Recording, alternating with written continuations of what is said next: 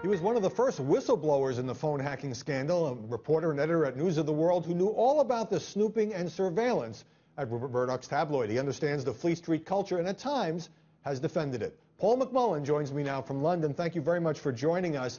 Uh, you didn't engage in any phone hacking yourself, but you certainly knew about it, uh, went along with it, I guess one could say. Is it morally wrong yeah. for journalists to tap into the voicemail of uh, some celebrity or royal family member? Um, well, I've always said no. Um, my argument is, um, you know, if you want to have a free uh, democracy and an open society where politicians behave well, you've got to have a press that is allowed to stray into the area of the dark arts, i.e. not the illegal area, to catch people out because fundamentally you don't go to a politician and say, hello, I'm a News of the World reporter, are you fiddling your expenses, are you having an affair with your secretary while presenting yourself as a happily married man? Uh, you've got to be cleverer than that. You've got to catch them. So I think um, that that's the public interest defence. That um, sometimes it's in the best interest of the country to have.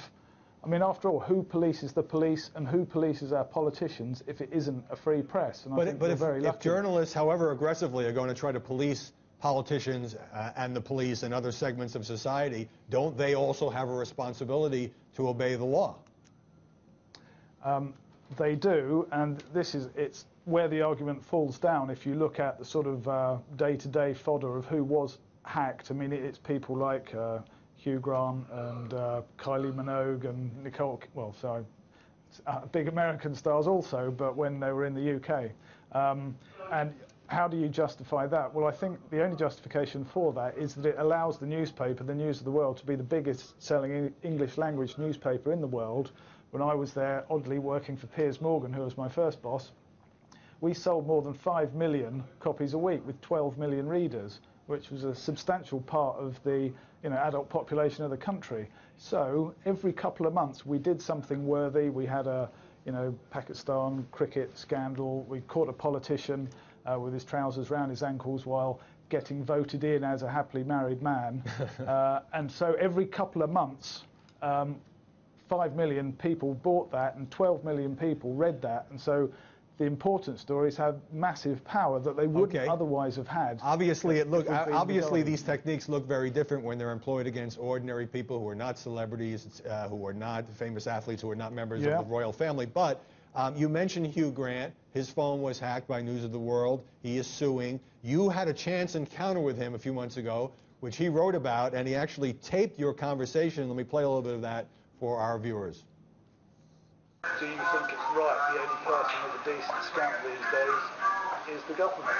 Whereas 20 years ago we all had a go. I mean, are you comfortable that the only people who can listening to you now uh, are, you know, MI, is it MI5 or MI6? But, but just celebrities themselves, you would justify because they're rich? Uh, yeah, I mean, if you don't like it, you just got to get off stage and we'll do one. Uh, if you don't like it, just get off the stage. So you don't believe that uh, celebrities have uh, any right to privacy at all, it sounds like.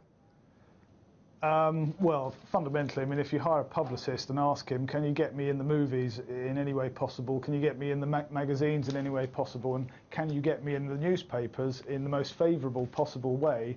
I think you kind of lose your, certainly you lose the public backing for when you start whinging, oh, someone's only got paid £5 million for the last movie and someone's listening to our messages. So I think nine out of 10 people who work hard and only take home £250 a week in Britain would happily have their messages hacked into to do two months' work and get paid five million pounds. So, in light of your views so, on this, I, Paul McMullan, why did you decide to blow the whistle and go public about the phone hacking at News of the World? Well, it's a, it's a good question, actually. Um, first of all, I mean, Sean Hoare, who's now sadly dead, he did crack under the pressure and he did drink too much and died just last week. Now, he started it, and it was presented.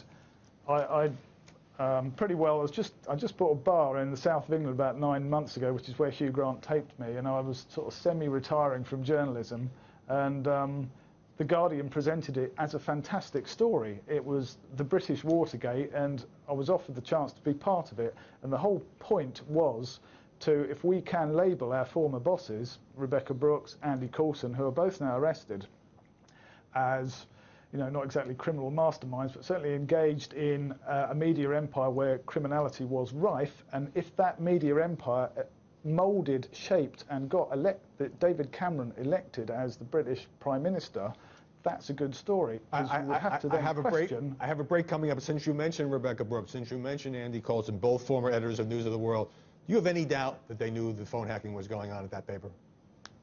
No, I have no doubt whatsoever, and it's only um, I've got to say Piers Morgan was also my editor, but in that time in 1994-5, it wasn't illegal. You could just sit outside someone's house and tap into their phone conversations and record all of it, and also look at their messages.